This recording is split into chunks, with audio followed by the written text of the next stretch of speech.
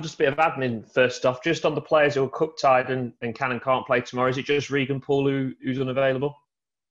Obviously, Regan and Morgan. Obviously, Morgan can't play in the whole game. So, um, yeah, as far as we're aware, Cohen and uh, Max are, are able to be involved just looking through your record and Lee Johnson's record in the EFL Trophy, you're both obviously managers that have taken this competition seriously down the years and have had success in, in getting through to uh, finals in this competition. Why do you think that is for, for you two as managers? Why do you think you two have had success in this competition? Um, who knows, to be fair. I mean, obviously, you, mentioned the fact of sort of taking it seriously. I think uh, you've got to have a balance. There's a, there's a balance between sort of picking strong team, but then a realization of that there's a lot of games uh, in the league, either before the game or after the game, you've got to take care of.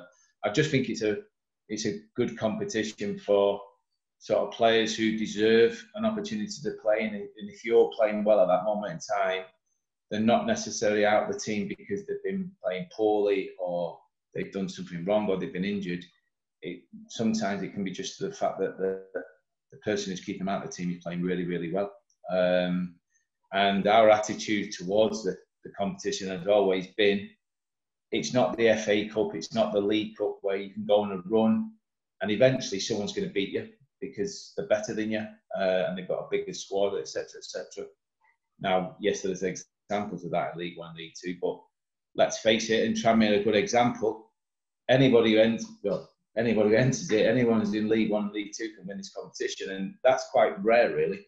You know, to have a competition that, you know, 46 teams, uh, no, 48 teams who enter the, t- the competition can actually win it. Uh, the last time you reached the final, it was a, a goal scoring affair in the semis. Last time Lincoln reached the final, it was a cagey affair that went to to penalties. How are you going to approach this one, bearing in mind your uh, experience in this competition in the past? Yeah, I'm not really, you know, even though maybe one or two results might suggest that I'm not really a cagey person. And I think early on in my management career, that cost me. I drew a lot of games because I was too adventurous. And you could argue the other night was a prime example of that. But ultimately, that's how I like to set out, and that's how I like my teams to, to play to try and go and attack and score goals. And I think um, Sunderland have not been short of scoring goals of late um, especially one person. So um, I don't see it being cagey or a, uh, a game that's going to be lacking in goals, if I'm being honest. So I think it's going to be uh, hopefully an exciting game for neutral. How do you deflect your players away from the thought that they're one game away from playing Wembley, or do you encourage that thought? Personally, encourage it.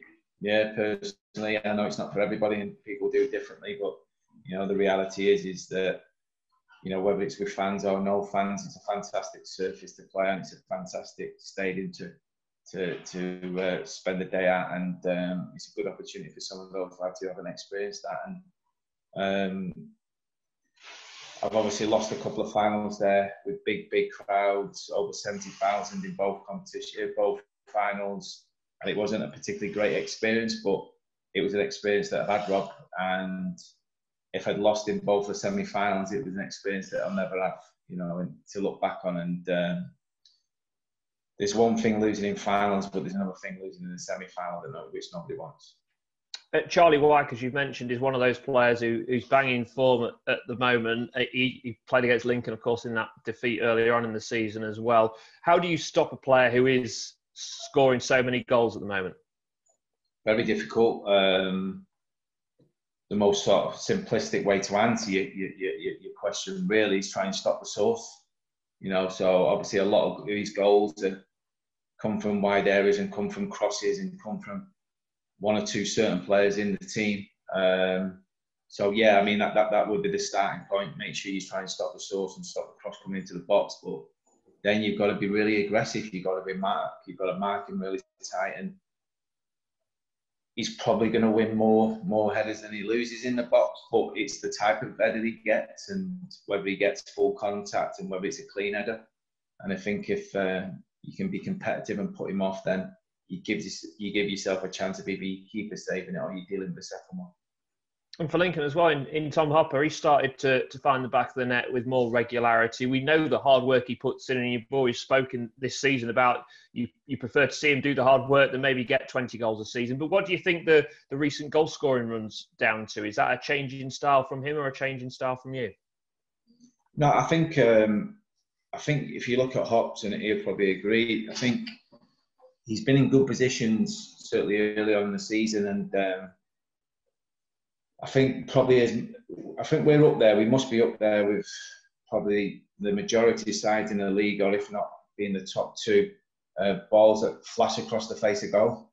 Uh, I don't see too many sides in the division where you think to yourself, "Sure, that's a tapping." The amount of times I've stood down the sideline and going tapping, tapping, tapping, and I've seen the ball flash across the goal. I think what Tom has done is he's made a real effort to get across the near post in wide areas, and then obviously his goal the other night was just being clever, recognising where the ball might end up and where George is going to sort of play it to. So I think the goals have been there in terms of if he really wanted to score them. I think what's happened is he's concentrated so much hard on working hard for us and, and sort of doing the graft. Um, I think all of a sudden now he wants to get a little bit of the limelight himself and get on the end of things, and he's reaping his rewards for it. Uh, Harry Anderson's obviously the only Lincoln player remaining from the last time they they reached Wembley. Are you going to lean on his expertise a little bit in this situation? Um, yeah, possibly, but I think there's a, there's a few players in the squad who have played there and, and, won big games at this situation. Obviously, H, in terms of his personality, is a huge personality in the in the group anyway. Whether he's in the team or out of the team, he, he's the same. Harry, you know, if he's disappointed or frustrated, very, very rarely lets it show. You know, he's a great person to have around, and um, yeah, he'll be certainly one that'll be as vocal as anyone before the game going into the going into the game tomorrow. And will he be practicing penalties today? I no, and, and they won't be. Uh, they will because they do it every single day after training, and you know, regardless of the game. So there's always three or four players who are out there for five or ten minutes with the keepers, probably having a little bit of a, a crack and a joke that, that, who can score what, but um, there'd be no pressure from me to practice, and there hasn't been throughout the season. We've done okay in the, in the penalty shootouts. If it ever got to that touch wood, hopefully it'll be the same. For me, Rob, it just comes down to a feeling on the day and how confident players are. And the one thing I suppose I have done so far, and I will continue, is you know I take that choice away from them. So you know, as they come off the pitch after 90 minutes, they know who the first five are and what number they're going at. So. Uh, and finally, what would it mean to you to reach Wembley again? Yeah, I mean, it's a brilliant occasion. Yeah, it's um,